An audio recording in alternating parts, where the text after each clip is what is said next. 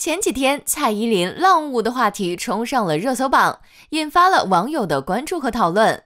很多网友持怀疑态度，认为以蔡依林的当红程度，不会来参加这种胡咖节目。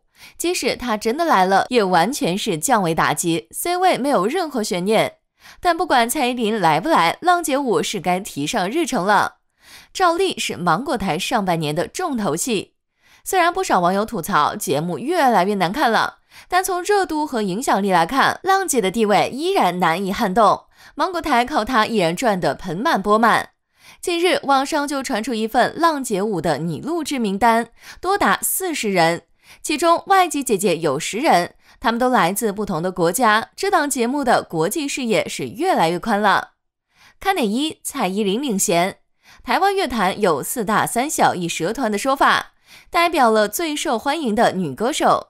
其中三小中的杨丞琳、王心凌，以及一蛇团 S.H.E 中的 ella 都参加过浪姐。王心凌和 ella 还获得了冠军，特别是王心凌，因为《浪姐三》成功翻红，至今人气都很高。在四大中，蔡依林是最长红不衰的，但她多年没有在内地发展了，所以也不排除借《浪姐五》宣告强势归来。不久前，芒果台的跨年晚会真正压场的重量级嘉宾就是蔡依林，这是她时隔十一年再次参加芒果台的跨年晚会。她带来了一段长达十八分钟的全开麦的表演，气息稳定，嗨翻全场，不愧是华语乐坛的唱跳女王。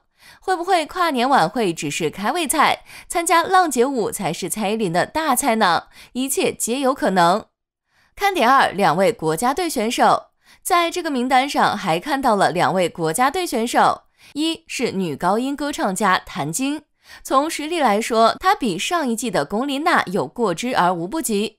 谭晶曾参加过《歌手2017》，一首《九儿》惊艳全场，特别是高音部分，将唢呐的伴奏都生生压下去了，至今让人津津乐道。可惜她中途退赛了，否则她很有机会获得总冠军。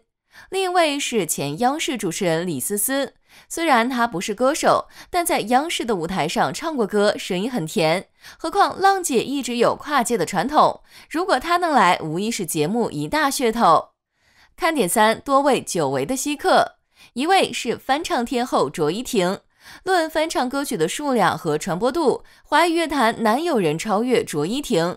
据悉，她至今共翻唱了七百多首歌。在磁带和 VCD 盛行的年代，她翻唱的歌可谓家喻户晓。一位是香港老牌天后陈慧琳，陈慧琳的经典作品很多，特别是拥有多首国语经典歌曲。但她从未参加过内娱的综艺节目，倒时不时会接一些商业活动。另一位是才女徐静蕾，徐静蕾的身份很多，女演员、导演、编剧、监制、教师等。六年前，他曾参加过《跨界歌王》，但之后就基本没有音讯了。看点四：十位外籍姐姐。浪姐四共邀请了七位外籍姐姐，其中梅丽亚之福成功出圈。